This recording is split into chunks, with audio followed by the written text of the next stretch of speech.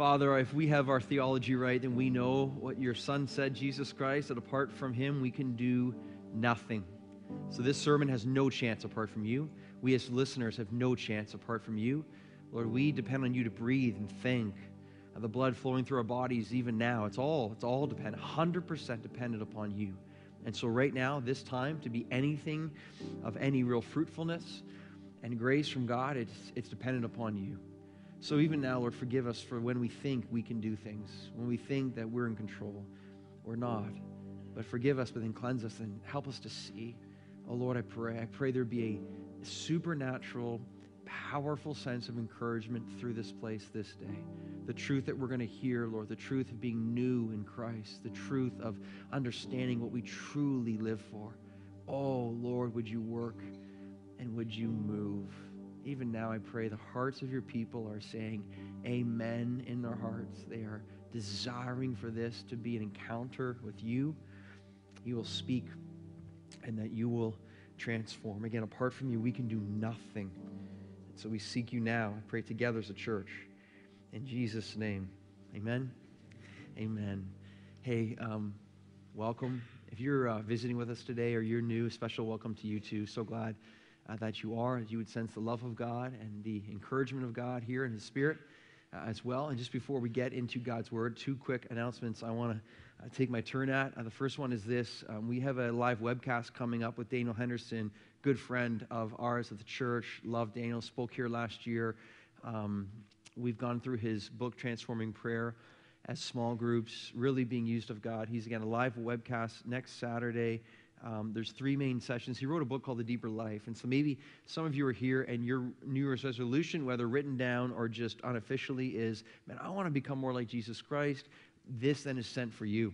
Um, this is the way that this happens as, as my soul's longing for more. This is what he's going to be speaking on. He is a trusted, we trust him and how God uh, speaks to him. And so uh, the cost Saturday is $10 only because it's going to be um, lunch. Okay, so you get lunch and um, and get together for that. And Daniel is also speaking at this. Daniel is one of our speakers for Free Indeed. This is our men's conference, third year. We've done this uh, here. I bring this to your attention right now, February 5th and 6th because we are um, at we are um, registration wise at this time last year last year sold out okay? So what men tend to do is they tend to procrastinate all right? And they like to wait to the last moment to do certain things like oh i'm going to show up on the fifth and sign up and uh, you, you, probably won't get in if that happens. So i'm going to do the fourth then okay? Probably won't get in then either. The third? No no no i don't know. So we're going to see what happens. A lot of people are coming.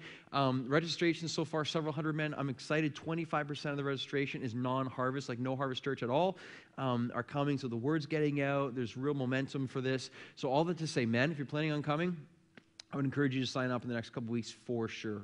And why not just do it this week? No, no, no, I'll wait till the end. All right, well, it'll be a sad day if you don't get in, all right? It'll be sad. I'll be sad as you're standing on the door knocking on it. We're like, I'm sorry, there's no room. There's no room, all right? That'll be sad, okay? So let's not be sad, let's be happy and let's and let's sign up soon. And ladies, you can help us with that, okay? You can give just gentle, g- gentle nudges and encouragement along the way to seeing how God will use this conference. He's used it each year very powerfully. We're really uh, anticipating that to happen again. All right, Second Corinthians uh, chapter 5 is where we are today. And if you don't have a Bible, please find one. If you don't have a Bible with you, you can find one in the seat in front of you.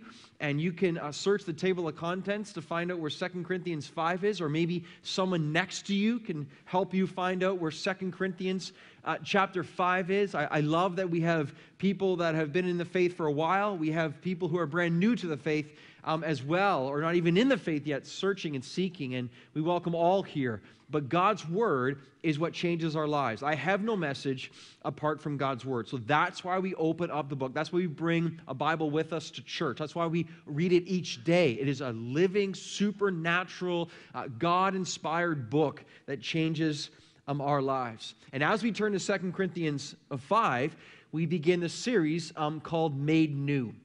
Made New the gospel um, according to the gospel in Second Corinthians chapter 5. So let me ask you a question. Um, the question is this Do you like new?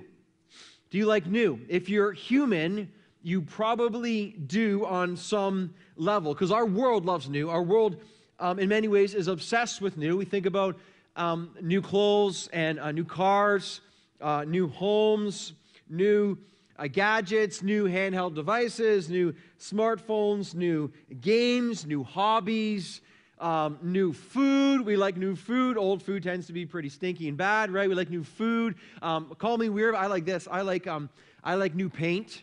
Now, what I mean by that is, I love a fresh coat of paint, you know? So, in our house right now, we got baseboards and wall trim, and you got four young kids running around playing all sorts of sports and activities and, and kind of wrecking up the house a little bit. Well, you look at the trim, and I notice these kind of things. Smudges, dirt, scratches, you know, seemingly you just kind of painted it, but the problem with something new, you get enough time, it starts to look old. Yes yes. So i was like hey hey hey hon can we get some trim bake i want to i want to do it because you put on a fresh coat of paint and it looks like new, right? And doesn't that excite you? Anyone else? Anyone else? I think it's exciting to see that. Even in our church, in certain areas, and we're just beating this building up, but a fresh coat of paint, you're just like, yeah, that just feels good because we love new. But it goes on. Inherently, we love new seasons and new days and new opportunities and new uh, health. When we've recovered from something, we feel uh, new again. We feel strong. We love a new lease on life, right? All these things that excite us, they all kind of centered in on new. Now,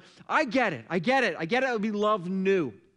The reason that I get it is because I think inherently we have been created by our Creator to love new. There's something in us that longs for newness, that longs for what is pure and beautiful and right. We do love new, and that is uh, so good. And in some ways, um, new just doesn't get old, does it? And yet, in some ways, new does get old when it's seen through the lens of our world. Here's where new gets old. New gets old when, again, give something enough time and that new becomes old. So then what happens is we have an obsession for the next new, for the new new, if you could put it that way. I mean, just take any kind of stream of inventions. Look at the iPhone, right? And the first iPhone came out, whoa! And then there's what two and two. I can't remember anymore. Maybe two S and three S, S this and and then like I saw recently, someone had an iPhone four and they were looked down on like they were second class citizen. You know what I mean? iPhone 4, iPhone 4. I don't have the latest one, but I don't have iPhone 4. This is probably, I felt almost bad because they, why? Because they didn't have the new new. They didn't have the next new. So it's the new new and the next new that drives us, and you can do your own calculations in your mind to see how much you are thinking about what's new next. That drives you to get that next new. But I'm going somewhere with this, okay? I'm going somewhere with this. What if, though, what if, and this is where this series is so glorious and so exciting, what if there was a new that never actually got old? Like ever. What if there was a new that actually got newer as time went on? What if there was a new, as time went on, increased in glory, increased in strength, increased in beauty, and increased in value? What if there was a new that was so new and so awesome it conquered any form of old? What if there was a new that exceeded the value of all the riches on all the earth totally combined? There is a new like that. And the new that I just described to you, this new is found only in the gospel of Jesus Christ. This is a new, and we are made new by the gospel. On the outside, we're aging. On the inside, we're being renewed. And we are headed towards the time where we will see full, perfected glory and strength and beauty and the presence of our God Almighty. That's why Second Corinthians 5 was written. God is unpacking his version of new. And he's like, hey, world, do you think you got new? I'll show you new. I'll show you a new that never, ever gets old. Our theme verse for this chapter is verse 17. Check it out. Second Corinthians 5, verse 17. This is the, this is the miracle of being saved by grace through faith in Jesus Christ. If anyone is in Christ, saved in Christ, Christ lives in you. Notice, he is a what? He is a new creation or a new creature. You literally are brought from death to life. It says, The old has gone, the old has passed away, and behold, this is so great, and behold, the, tell me, tell me, the new. The new has come. To be made new in Jesus Christ is to be in a place that you will never, ever get old, truly. Outside, yes. Inside, no. So hear this, okay? Here's some good theology. Every person ever born has been created, has been born physically. Every person has come from the womb of their mother. They were born physically. Only certain people have been born spiritually. God is the one who causes someone to be born again spiritually. And when you are spiritually reborn through faith in the life of Jesus Christ, that is when you will never die again. When God creates something new spiritually, old can't even get a foot in the door. So much to say about this, but that's why we take four weeks to do it. Made new, the gospel in Second Corinthians chapter 5. Now, some of you are like, what's up with the icons behind you? All right, so the icons are four of them. We have four messages in this series, Lord willing, four messages, and each represent some way that we've been made new. Week number one, we're going to learn this. Right now, to be made new means we have a new body. That's a tent. The tent is going to describe our earthly body. This, this is a tent, okay? This tent is not here forever, man. There's this new resurrection body that's coming, and we're going to be seeing the tent replaced and the resurrection body coming. All in favor of perfect resurrection bodies? All in favor? Oh, yeah, that's going to be a great day, okay? So that's week number one. We have a new body. Week number two, we have new vision. The text says, walk by faith and not by sight. To be made new in Christ means we see differently. We're not looking at the world now. We see with eyes of faith. We see the glory that awaits. We understand what it is and who it is we're living for. New body, new vision, heart, new love. When Jesus Christ changes us and saves us, there's a new love that enters into our life. A love for Him, a love for one another, a love that is of the Lord, supernatural from the heavens. So we have new body, new vision, new heart. And then the last one that beautiful little sprout of creation. That's our theme verse. That's our text, new creation. To be made new means that you are a new creature. You are a new creation. And this is what we're going to do within this series. So, so an introduction to the series as a whole. Need to do that. Get on the same page. And now a little introduction into the message today. And this is uh, very brief, but what's amazing about this new, okay, that's what I love when we are made new, what we learn today, if you are truly saved in Christ, this is one of the great kind of tests. Where am I? Where am I? If you're made new, ready? You will groan. What do you mean? Well, we're going to find out from the God's word specifically in just a moment. But let me just give you a little bit of a head start here. The person who's genuinely saved in Jesus Christ, they are made new and they have a sample of perfection that is to come. They've been regenerated. They are now alive in Jesus Christ, but it's not fully completed yet. Sin still has its way at times. There's still the battle against the enemy called Satan. There's still the frustration of day to day trying to see the sin gone and the fruit of God's Spirit within our lives. So we've tasted a sample of new, but we haven't yet quite feasted on the meal of new that is coming. So what happens is you know it's coming and you long for it. You groan for it. So, any person who's actually made new, the person who's not made new doesn't groan because they think this is it. They think the world is it.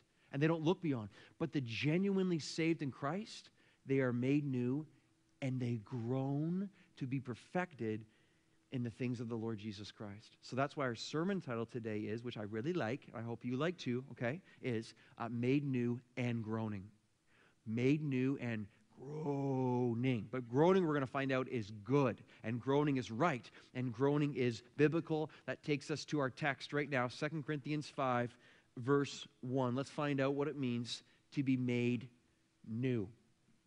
Verse 1. For we know that if the tent, which is our earthly home, is destroyed, we have a building from God, a house not made with hands, eternal in the heavens. For in this tent we groan, there it is, we groan, longing to put on our heavenly dwelling, if indeed by putting it on we may not be found naked. For while we are still in this tent, here it is again, we groan, being burdened or weighed down, uh, not that we would be unclothed, but that we would be further clothed. That's resurrection body again.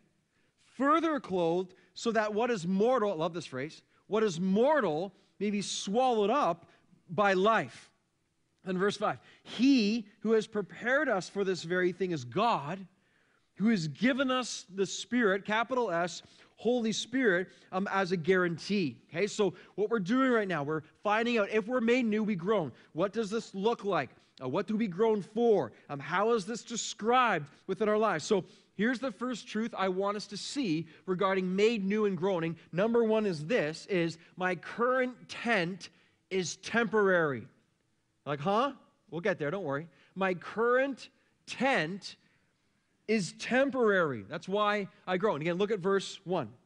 For we know that if the tent, which is our earthly home, is destroyed we have a building from God, a house not made with hands, uh, eternal um, in the heavens. Now, the very first word in verse 1 is, is, is very important. See the very first word there? It's the, it's the word for, okay?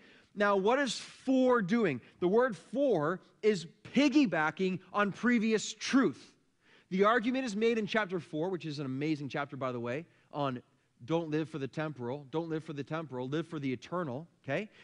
and then it's it's launching into chapter 5 verse 1 so let's just go back a couple of verses in chapter 4 look at verse 16 of chapter 4 paul says who wrote this inspired by holy spirit so we do not lose heart why paul well because of this though our outer nature is wasting away our inner nature is being renewed day by day now this right here is one of my favorite verses in the new testament okay and check it out and hear what it's saying. Though our outer nature is wasting away. What's that talking about? It's talking about our, our physical body. Anyone in the room right now aging? Anyone aging? Hands up. Anyone aging? All right, so most of us are aging, and the others, I don't know what you're doing, all right? But aging means that outside, externally, we're wasting away. We are getting older. We find ourselves with wrinkles. We have uh, weight moving around. We don't want it to be. We hear creaks and, and pains. It's called we're wasting away. But, but listen, here's the encouraging part, okay? On the outside, we're wasting away, but our inner nature, it says right here in verse 16, is being renewed day by day. Now, you need to pick up why this theology is awesome, okay? Okay? Every aspect of creation is, is, is, is created, lives, but then dies all the, all the vegetation, all the animals, all the stars in the universe, the whole earth, all the people who live, born, live, but headed towards death. There's only one group, one part of creation that is actually, as time goes on, is becoming newer and stronger and more glorious and more valuable. And the only part of all of creation that actually is being renewed on a day to day basis are children of God are genuine Christians, are believers in Jesus Christ. Yes, you look at us on the outside, we're wasting away, but on the inside, we, we got to think about this more often, okay? Like, you want to grow in maturity in Jesus Christ, you got to get this stuff on your plate every day. You got to be thinking about this stuff, man. You can't, if you look at the world and you're focused on the tent, you're done. But if you understand, yeah, I'm getting older, but inside, I'm actually becoming more like Jesus Christ. That is awesome. That is why we live. That is the only, that is our greatest boast. That you can, you, you can take my life, but you cannot change the fact that I'm becoming more like Jesus. In fact, if I die, then I start to live. Praise God, hallelujah. That's the gospel, man. That's the gospel, all right? So, so, amen. Clap, clap, clap, clap. Love clapping, okay? Outer nature wasting away, inner nature renewed. So Paul says, don't don't lose heart then. You're discouraged right now. Yeah, I get discouraged too. But I read this and I'm like, mm, that helps. That helps a lot. Because inside, I'm actually becoming more like, I, feel like garbage, but inside, I understand God's working in me. And notice verse 17 for the slight momentary affliction, okay, so no offense, okay? You and I are here today. We're suffering through trials and pain. Your trial's slight. My trial's slight. Um, your pain and suffering, no offense, it's momentary my trial, my suffering, it's, it's moment, no offense, it's momentary when compared to the eternal weight of glory beyond all comparison. You see, so what we do is we're like the trial, the pain, the suffering. Oh, it's so big, it's so big, it's so big. Well, it feels like it's so big, but in reality, it's not. Not diminishing your trial or my trial, not diminishing it unless we compare it to the eternal weight of glory beyond all comparison, then I will diminish it. I will diminish my own suffering and trial. See what Paul's doing? Hey, hey, hey, church, don't lose heart, don't lose heart, don't lose heart. Why, why, why? Because Jesus is awesome and he's made you new and he's preparing you for an eternal weight of glory. So then, of course, he says in verse 18, don't look at the things that are seen, for they come and go transient. Look for the things that are unseen, for they're eternal. If we focus on stuff that we can touch and money and ourselves and we just focus on the world, depression we focus on the eternal realities of glory in Jesus Christ encouragement, hope, perseverance, passion, love, Jesus. And see, this is the truth that's leading us into chapter 5, verse 1. And Paul's saying is, For we know, okay, ready? Uh, Christian maturity time right here. Paul says, We know, not we think or we hope. He says, We know. We know what? We know we know that if our earthly tent, tent, earthly body, is destroyed, we know there's a resurrection body that is coming, eternal, not made with human hands, but by God in the heavens. So if you and I want to see maturity, this is, this is a real problem in the church right now, a huge problem. There's a lack of maturity because we're not living for what actually matters. We often live for what moth and rust destroy. We live for wealth. We live for self. We live for material possessions. We live for personal fame. We live for the here and now pleasure of the moment. Give me more leisure, I'll be happy. That's not biblical. That's not that that's not going to work. Maturity understands this is temporary. Everything I see, everything I am right now, it's temporary. I live for what's eternal. Listen, listen. There are no spiritual exceptions to this spiritual rule. You cannot be mature in Christ and be so fired up for the world. You can't do it.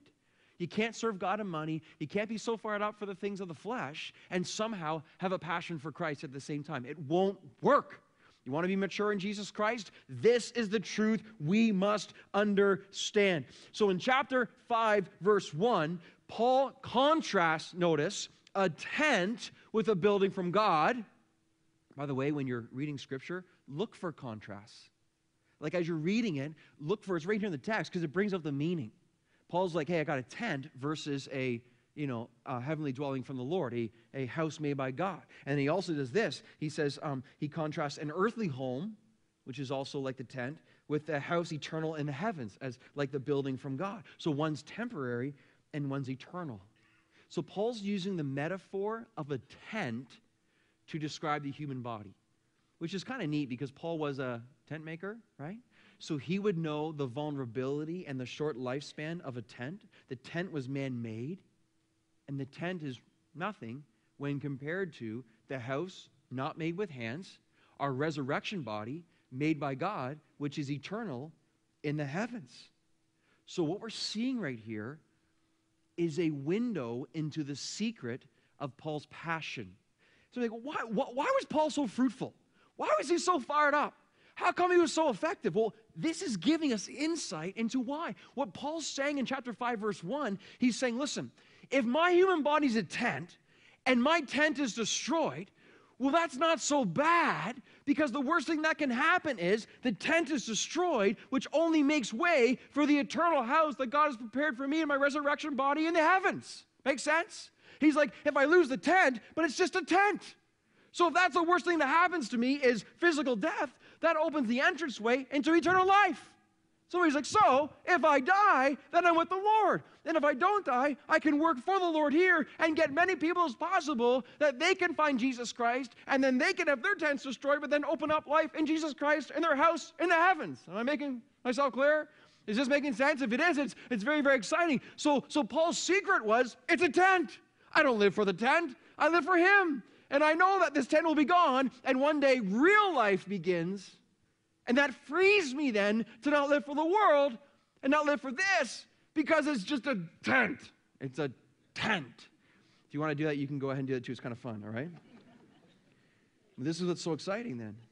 When the tent is gone, the eternal house of God shows up.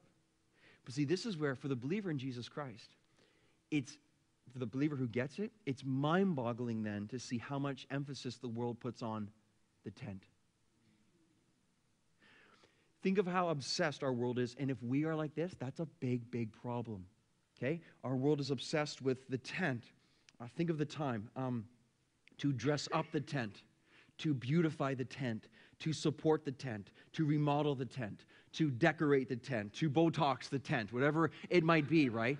But the thing is, listen, listen, it's a tent. For the love of God, let's remember, it's just a tent. It's not going to be around for very long. Let's get a picture of a tent here on the screen. Now, I want to say this, okay? This is a nice tent, pretty nice tent. I like the color, I like its shape. It seems to be well designed. Its uh, pegs are in the ground, it's got a, a decent foundation. It's a pretty. Now, this represents, in God's word today, this represents our physical, earthly body, okay? But it's a tent. Now, when you compare it with our resurrection body, this is an insufficient comparison, but it helps a little bit. Here's our resurrection body right here, okay? All right? So, so, so that, but, but, but this, this doesn't do it justice. When, when you compare um, um, earthly physical body with perfect resurrection body, I don't know what picture you put up here, but it's going to be way better than this too. Okay, let's go back to the tent though. But it's amazing how much time we spend on this and we're like, yeah, but I like, I like, I like the tent, but it's a tent, okay? And when you have those, listen, go back to the other picture now. This, this is not Pastor Robbie advertising and advising go buy a mansion right now, okay? This is a spiritual metaphor, okay? This is representing our resurrection body, okay? The point is, why would you ever live for a tent and worship the tent when this is coming, all right? The spiritually minded person understands this is resurrection body, uh, ching, I'm in. This is gonna be good. Back to the tent. This doesn't have much. But people say, but I like my tent. Look, I, I, I got a skylight, right? and, and, and I spend so much time and I, and I just I just love dressing it up and, and I put all the money in this tent and I'm so excited. It's because all you see is the tent. Back to the picture. You don't see this. Okay? But this is your reality in Jesus Christ. Your resurrection body, man. It's gonna be mind-blowingly awesome, right? So the point is, but then why go back, go back, go back? Why would we live for, for that? If you know that, next one, if you know that that is coming, right? Why, why would you ever want to live? Listen, it's just a tent. It's just, so like the whole point of this right now is listen, ready? Don't live for the tent. Don't live for the tent. Do I take care of the tent? Sure. Sure, take care of your tent. As long as you know it's a tent. Don't worship the tent. So many people are worshiping the tent. And the tent's going to be gone. And then you're left with whatever you have in Jesus Christ. Again, you want to take care of it, fine. Don't worship it. That's why Jesus says in John 14, Jesus says, In my Father's house are many rooms. If it were not so, would I have told you that I go to prepare a place for you? Awesome. He's there right now preparing. Are you saved in Christ? Are you genuinely saved in Jesus Christ? You know that He lives in you. Jesus is right now I'm getting your place ready. Amazing. Then He says, I'm going to come back again. I'm going to gather you to myself, He says, and where I am, you also will be. Amazing. Jesus like, You're mine. Come here. You're mine forever. Come, let me show you your literal house. I don't know. Awesome. Okay, you won't be disappointed. Be amazing. And notice the application. Why does the Bible talk so much about this kind of stuff, eternity? And thinking of heaven. Why does the Bible talk? Because when we live this way, the verse that precedes uh, verses two, let, let's look at it now. The very verse that comes before it, Jesus says, Let not your hearts be troubled. Believe in God, believe also in me. And then he launches into, In my Father's house are many rooms. See, so we suffer with stress, with, with anxiety, with, we're crippled with worry, we're paralyzed in fear because we live so much for now that we've neglected what's going to be. But the person who lives so much in the reality of what will be becomes the person so powerfully impactful in the present. See, this is why this theology is not just about, yeah, heaven's going to be great. New heavens, new earth, that's going to be, it's about, it actually impacts right now. It allows us to live the way that we are called to live. And starts with, my current tent is temporary. It's a tent. Now, Point number two tells us this, which is so wonderful, that it's right to groan in this tent.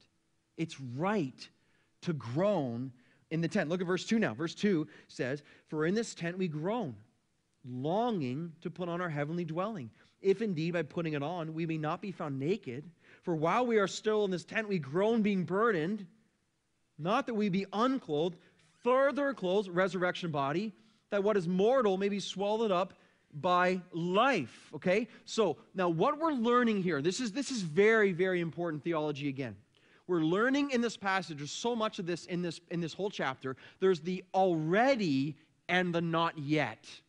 Okay? Some of you have never heard this before. There's an already aspect of our salvation. Okay? So um, if you're saved in Christ, I'm saved in Christ. We have been saved already. Um, the penalty of sin is not on us anymore. Jesus has taken it all. So we have been sin already in past. We are being saved. We have been saved. We, we, we, we are being saved, sanctification, okay? So there's an already aspect of our salvation, but there's also um, we shall be saved. We are not perfected yet. That day's come. That's the not yet portion of our salvation. There's the aspect of God's kingdom. Jesus Christ has come. His kingdom is now at hand. That's the already. He has come and he has lived and died and he has rose from the dead. The gospel is changing lives across this globe. That's the already. But the not yet of God's kingdom is he will return and perfect it once and for all, where Satan is dealt with and sin is no more. That's the not yet. So, for the believer in Jesus Christ, there's a taste of perfect glory. We've sampled this meal but we haven't yet sat down and feasted sumptuously on the realities of perfection where sin is defeated and we see Jesus Christ face to face. Let me just explain this a little bit more. If you're like me, you read these verses and you groan as you read about groaning because you say it's so it's so right. It's so true. I think about this stuff like every day. Like it's just so much a part of, of how I focus on the Lord. I, I love it so much because why? If you're like me, you've had a taste and you have seen that the Lord is good. You've tasted the glory of Christ. And when you've tasted Him, you want more. So the already is I've tasted Him, the not yet is, but there's more to come. If you're like me, You've had a taste of the power and the presence of the Holy Spirit. You've been filled with His power. You've been struck by the glory and the filling of God's presence, and you've, you've operated. That, that, that's the already, but you know there'll be a day where this is perfected, and that's the not yet, and you want, you groan. You groan where it'll be like this forever and ever. Amen. And then if you're like me, you've, you've seen glimpses of the glory of the Lord to the point where the reverence was so strong and the holiness of God was so thick that He crushes you to the ground and you're a puddle of mush in worship for the Lord and you're tasting it. And that's the already. But you know there'll be a day where the perfection of the glory of God and His presence and beauty will be on and on forever and ever. That's the not yet, but you groan. You groan for that day when there will be no more of this temporary stuff. If you're like me, you've, you've savored just enough what it will be like to be rid of sin forever.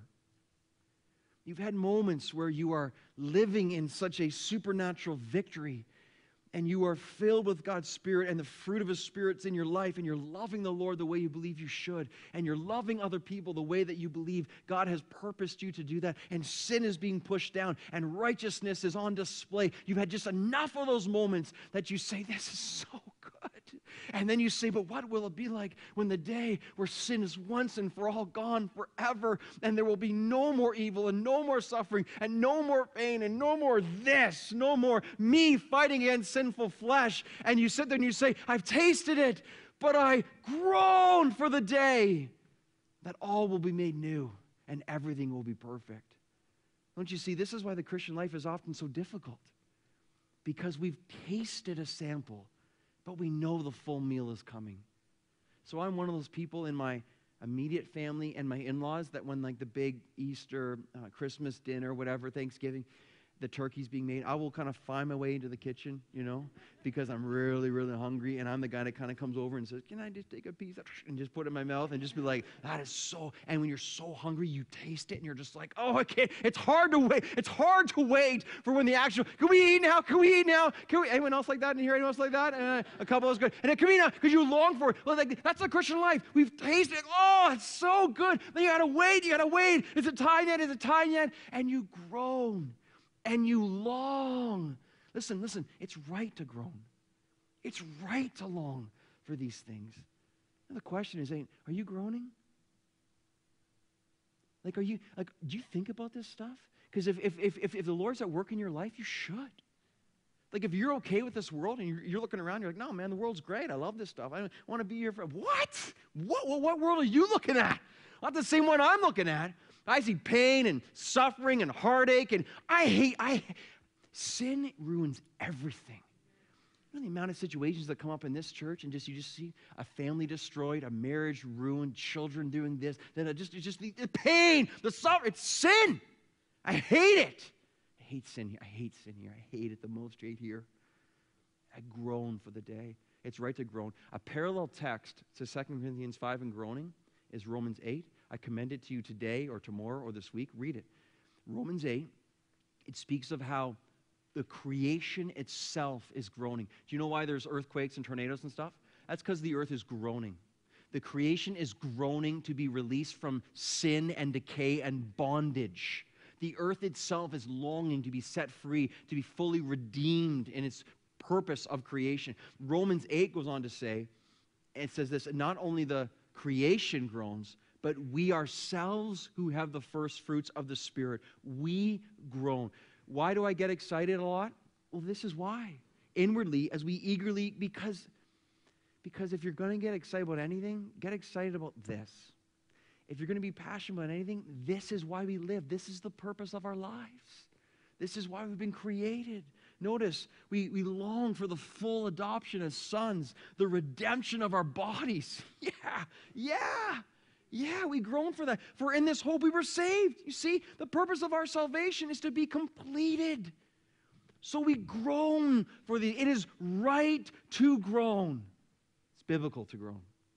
Are we groaning? So if you're like me this past week, one morning you woke up and you felt like death warmed over. Seriously, right? You just wake up and you're like, really? Like I remember I woke up one morning, I had eight different injuries that surfaced at the same time.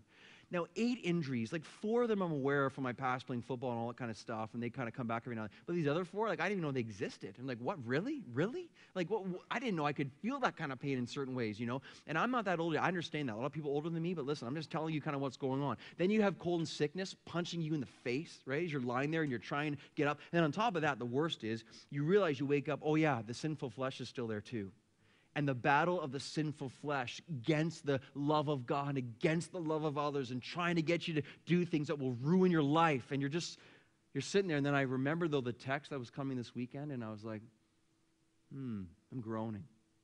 It's a whole lot of groaning in one setting. But I realized, yeah, but it's good to groan. It's right to groan. What are we groaning specifically for? Well, on the screen here in our text, the first thing that we groan for right here is our heavenly home. So in verse 2, Paul says, We groan to put on our heavenly dwelling.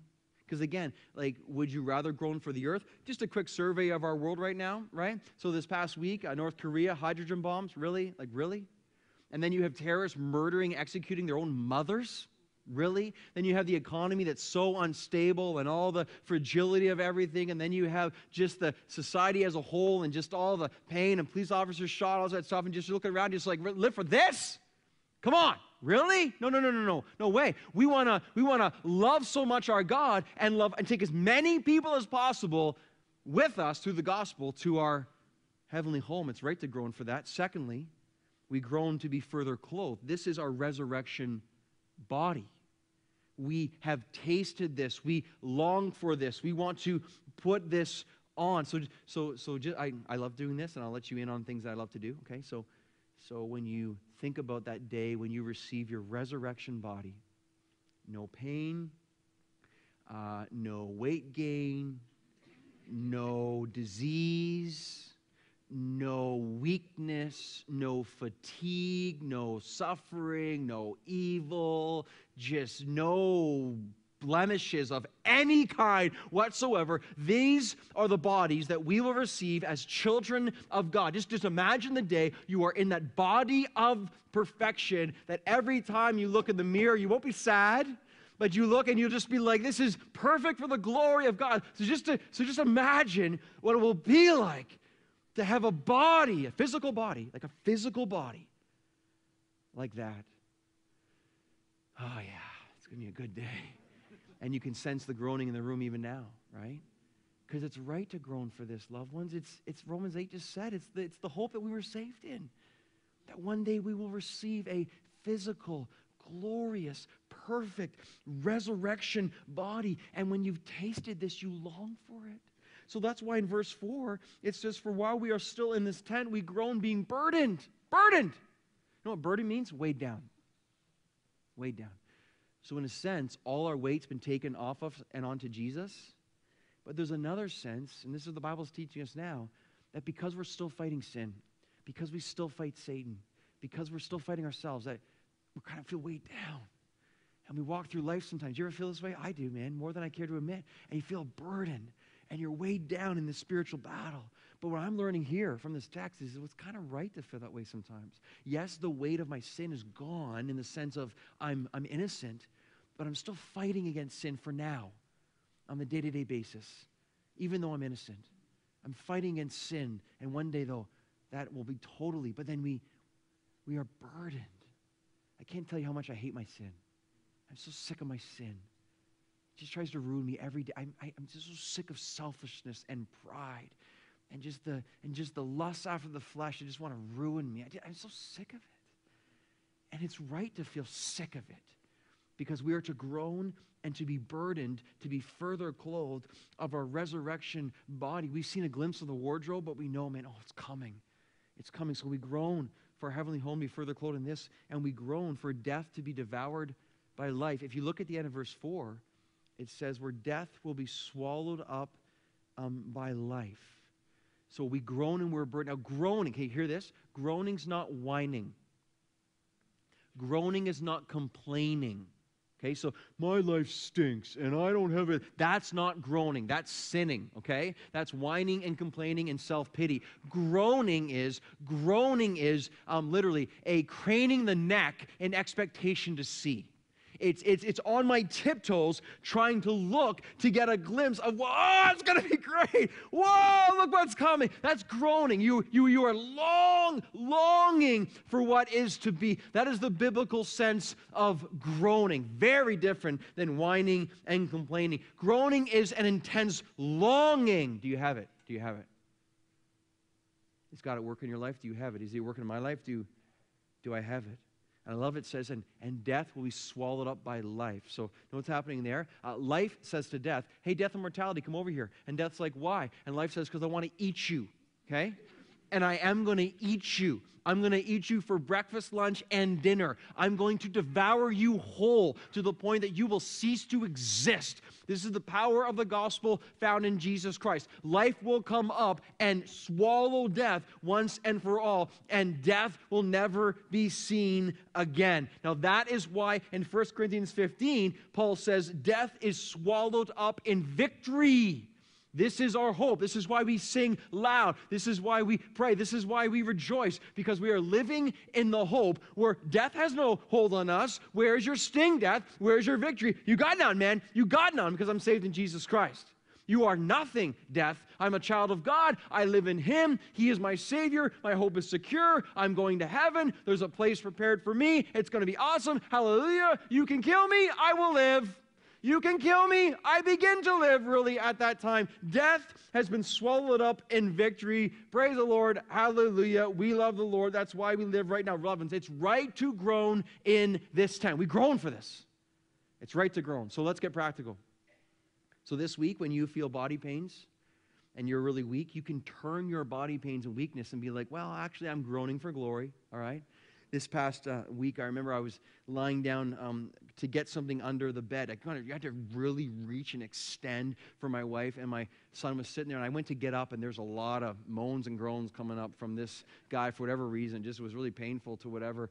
And dad, my son's like, Dad, what's wrong with you? I'm just like, man, I'm just getting old and I'm groaning. I was thinking about this stuff too, and I'm groaning. You can you can turn those moments of like, what in the world to to hey, I'm groaning for glory. This week when you are fighting against sin and you're fatigued from fighting against sin, you can change that in your mind and use it to your advantage and say, Well, I'm really groaning for glory. I'm groaning for the day when this battle is done. This week, when you look in the mirror and you're not so impressed, well, you can, you can turn that and you can say, Well, I'm, I'm groaning for glory.